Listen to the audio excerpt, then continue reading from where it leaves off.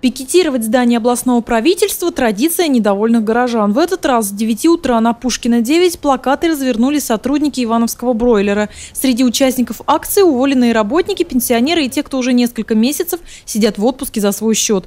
Требования одни и те же от акции к акции. Сотрудники просят возобновить производство, восстановить на работу уволенных и не снижать заработную плату. Пикетируя правительство, они привлекают внимание властей к проблемам частного предприятия. В течение нескольких недель на Горинской птицефабрике фабрике не происходит изменений ни в худшую, ни в лучшую стороны. Заселить птицу, чтобы мы обеспечить нас работой, чтобы мы работали.